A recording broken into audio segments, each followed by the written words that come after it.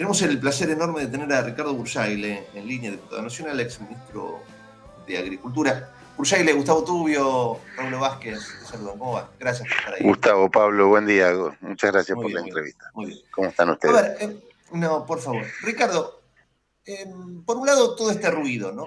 Que insisto, desde que arrancó el programa, hay mucho ruido, ruido, ruido, ruido. La realidad chiquita es que la Constitución Provincial impide que eh, que se presenten a las, elecciones. Esto queda en el mientras tanto, Ricardo, estamos con seca, se va a producir poco, la gente está mal, angustiada, no sabe cómo salir, la inflación no come el cerebro, ¿no? Parece como que eh, eh, están en otro canal, ¿no? Están en, otra cosa, en un ruido político interno que nada tiene que ver con la realidad de la gente. Yo creo que se dan, a fuerza de ser sincero, en una charla, se dan ambas cosas, Gustavo, ¿no?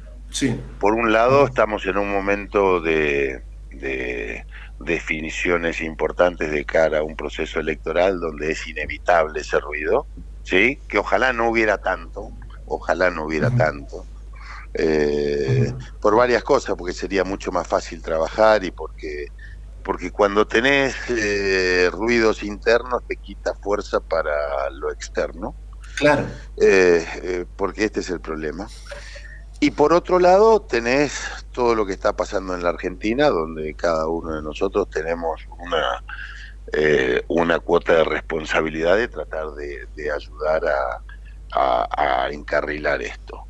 Eh, creo que hoy, por supuesto, eh, cuando vos le planteas el problema de la Corte Suprema a alguien que no le alcanza para llegar a fin de mes, poco le importa. ¿No? Porque su problema está centrado en su familia, su problema está centrado en la inseguridad. Eh, hay cuestiones que son inherentes al poder legislativo y hay cuestiones que son del poder ejecutivo. Nosotros tenemos la responsabilidad de buscar solución a algunos temas que están en nuestra órbita, que están en nuestra esfera, eh, como por ejemplo ley de alquileres, que es un tema que agobia, que, acu que acuciante para, para la gente.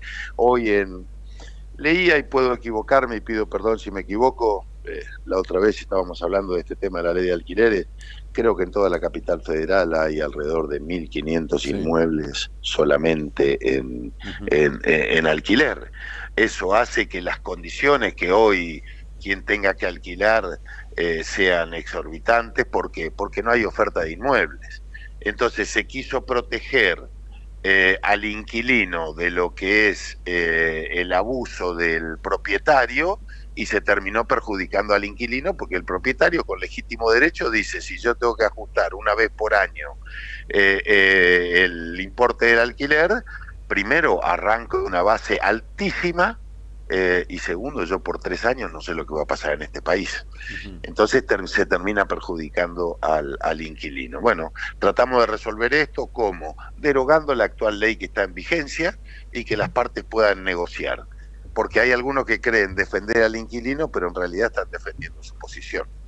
Eh, Ahora, Ricardo, perdóname que te haga, que te haga una pena sí. cortito. Vos fíjate, y sigo con este tema, ¿no? Sí. Hay muchos que creen que la ley ya está derogada. Vos fíjate el ruido que hay. Que muchos creen que ya se derogó. Y, vos lo decís claramente, ojo que todavía no se derogó. No, nosotros, nosotros presentamos un proyecto para derogarla. Claro. Porque yo, yo estoy seguro, Gustavo, que si vos vas y vas a alquilar a alguien o que conoces o que tenés. Si, vos me querés alquilar a mí, yo te conozco, vos me conocés, te tengo que decir, che, Gustavo, pero ¿cómo vamos a ajustar de aquí a un año esto? Es decir, con una inflación del 100% anual y hoy te cobro una cifra 100 pesos. ¿Me vas a pagar 100 pesos hasta, hasta, hasta el mes de mayo del año que viene? Imposible. Entonces yo arranco pidiéndote 200, ¿no? Entonces el año que viene a vos a esta altura con el 100% de inflación se te hace 400. Si hubiese habido más oferta, seguramente el alquiler sería 100 y yo no arrancaríamos de 200 porque vos podrías elegir. Entonces, ¿qué decimos? Señor, que aparezca la oferta de inmuebles, porque para que aparezca la oferta de inmuebles lo que tiene que haber es libertad para contratar entre las partes y que vos y yo podamos arreglar como nosotros creamos conveniente eh, esta ley. Después, en el mientras tanto, pensaremos cuál es la mejor solución, porque la realidad es que el problema, por un lado, es la inflación, que la inflación se come el salario, entonces vos, en vez de destinar, eh, no sé, el 20, el 30% de tu ingreso al alquiler, terminás destinando, como perdés poder adquisitivo, el 40 o el 50% del salario. Entonces, creo que esta cosa, bueno, pero se resiste. Eh, e, estas son las cosas que pasan que el poder legislativo puede dar solución. Hay problemas con las pymes.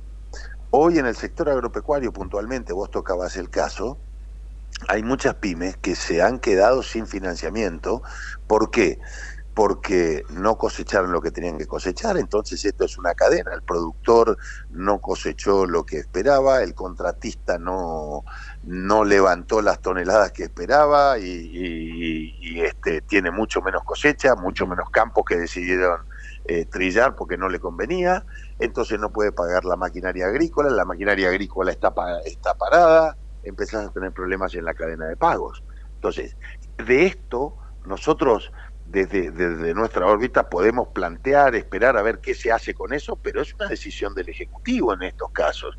Planteo un plan soja 3, pero cuando vos tenés una disparada del dólar como se dio, obviamente la gente trata de cubrirse y los resultados no son buenos. Eh, yo creo que estas cosas eh, suceden. La inseguridad es un problema más que del legislativo, más que falta de leyes, es un problema del legislativo. Vos sabés, Ricardo, que, perdóname, porque Raúl te quiere hacer una pregunta, pero no, no, no quiero dejarte pasar por, por ciertos lugares que para mí son claves, ¿no? Vos fíjate, están organizando una marcha contra la Corte por el supuesto lawfare, y vos fíjate un ruido espantoso cuando la Corte está tratando de hacer lo que corresponde, no, no tratando, hace lo que le corresponde.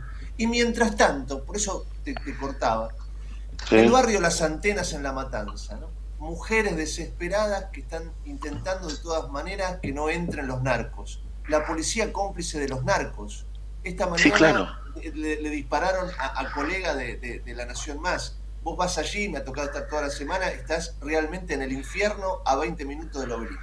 Y yo no noto que haya una marcha para salvar a estas pobres mujeres que están desesperadas. ¿Entendés? por eso te digo, que a veces noto que ciertos sectores de la política están en otro canal. Mira, Gustavo, desde que empezó este gobierno, ¿cuál ha sido la prioridad de este gobierno? La impunidad de las causas judiciales. Por eso los casos más rimbombantes, fíjate lo que, lo que tienen, los, los casos que más, más fuerza le pusieron, le pusieron a la modificación de la cantidad de miembros de la Corte Suprema, para remover al procura, para remover al procurador que está y cambiar la ley de procuración, para modificar la ley de la justicia, para crear nuevos tribunales federales que no se ocupan de la causa de esa señora que vos estás hablando. ¿Sí? Porque esa no es la causa de esa señora y, la del colega tuyo que, que, que ejercieron, que le pegaron un tiro que, que, fueron, que atentaron. Entonces, este gobierno lo que sistemáticamente está tratando eh, es de instalar esta visión de que la justicia es mala, ¿por qué? Porque no quiere dejar por sentado que las causas de corrupción que pesan sobre la vicepresidenta y sobre todos los, los, del gobierno anterior eh, eh, queden como ciertas. Entonces hay que desprestigiar la justicia.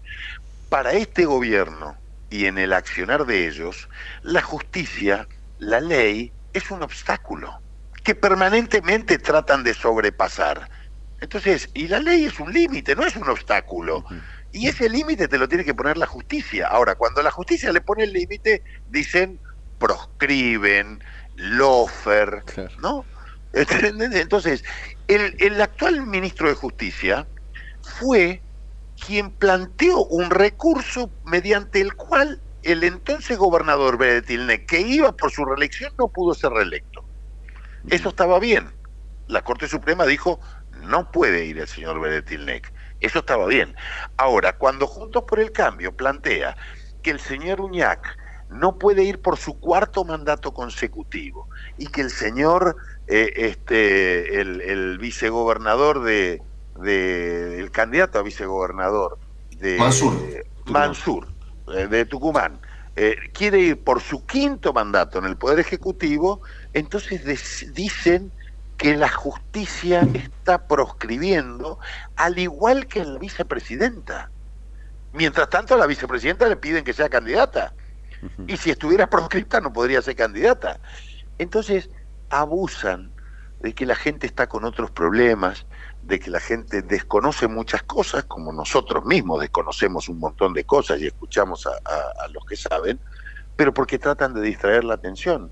Entonces, estas cosas que están pasando en la Argentina, hay cosas que sí son responsabilidad del poder legislativo y cosas que son del Ejecutivo, que están peleados en su interna, que tenés los albertistas que ya no están, los cristinistas, los... Bueno, es muy difícil un país así donde no hay una cabeza, donde el presidente no está presidiendo, ¿sí? donde no tiene ministros que le respondan, ¿no? Solamente tiene una vocera, tienes la Secretaría Legal y Técnica, eh, Aníbal Fernández, Agustín Rossi y después no sé qué otro ministro, digamos. Sí, perdón. Diputado, discúlpame, ¿cómo le va? Raúl Vázquez los saluda, es un placer. Hola Raúl, eh, igualmente para mí. Yo coincido absolutamente con lo que está diciendo, pero eh, está muy claro lo que está sucediendo tanto en Tucumán como, como en San Luis. Digo, está muy claro a partir de que uno empieza a, hablar, hace un rato hablamos con un abogado constitucionalista y nos explicó un montón de cuestiones que dentro del ruido a veces se pierden. y, y coincido en absoluto con usted. Yo, de todas formas, eh, me gustaría compartir con usted una, y con todo respeto, una, una crítica hacia la oposición que tiene que ver con lo siguiente. Está clarísimo que la Corte Suprema de Justicia, esto lo veíamos en la, en la, primera hora, está habilitada para dictar este tipo de medidas cautelares, ¿no? Eso está más que claro. Pero al mismo tiempo, de, por un lado vemos eh, desde ya eh, al, al, al, gobierno planteando que la Corte Suprema cometió este, un grave hecho institucional, que suspender, eh, eh, estamos ante, dicen que están ante un virtual intervención federal de las dos provincias argentinas y, bla, bla. Y al mismo tiempo, digo, la oposición, en lugar de mostrar los cuatro o tres renglones que contiene contenidos en un artículo de la Constitución Nacional donde se muestra que está habilitada la Corte Suprema para eh, actuar en esta situación, lo politiza también diciendo, por ejemplo, le frenamos las reelecciones a Monseñor Unac porque se creen señores feudales, cosa con la que estoy de acuerdo, pero politizan la cuestión y generan más ruido. Digo, eh, no, sé si comprende lo que digo. A mí me parece que ante la ley, ante la ley y ante la Constitución, nada más que eso, la Constitución. Me parece que de alguna forma la oposición colabora con el ruido. ¿Me explico? Sí. Yo te quiero contar, te voy a tratar de responder muchas veces cuando hay alguna manifestación del sector agropecuario, del cual yo provengo, ¿no? Sí, sí. Eh, yo he optado por no ir. Entiendo. Porque, porque más allá que sigo siendo productor y que acompaño muchos reclamos del sector, mi presencia en ese lugar, más allá que yo no lo quiera politizar, de por sí solo lo politiza porque yo estoy en una función política. Entonces trato que los hechos hablen por sí solos, porque yo llamo a un dirigente y digo, mira, prefiero no ir porque si no estoy desvirtuando tu causa. Eh, de la misma manera, yo eh, eh, en esto creo que, que, la Corte tiene facultad para expedirse. Uno mismo podría decir, che, a veces, y la Corte tendrá la respuesta, porque yo creo en la buena fe yo creo en la buena fe de, la justicia, sinceramente. Eh, uno podría decirle, che, ¿por qué no lo sacaron la semana pasada o la anterior? Tendrán la respuesta. Algunos me dirán, mirá, entró el 21. Yo no soy abogado, Raúl. Eh, pero sí, yo, yo creo que a veces hay que bajar esto para que no termine siendo un Boca River. Claro lo que es una decisión de ¿es penal o no es penal? Y se No lo discutamos, no lo discutamos, por más que yo sea de boca, miro y digo, me gustaría que no sea penal, lo miro cien veces, tengo mis dudas, pero yo no voy, no creo que el árbitro tenga mala fe, a lo sumo. Eh, eh, pensaré que se pudo haber equivocado, pero trato de no de no meter en el medio porque los hinchas de River me van a decir, mira, fue penal y se no estamos discutiendo la cuestión de fondo, sino ya una cuestión emocional. A veces es bueno de dejar que la, que la justicia actúe por sí sola y acompañar a la justicia. Sin duda. Ricardo, como siempre, un placer escucharte. Para mí también. Muchas gracias. Les mando un abrazo grande. gracias, Gustavo. Abrazo enorme. Gracias. Eh. Ricardo Burjaile, diputado nacional por la UCR, ex ministro de Agricultura.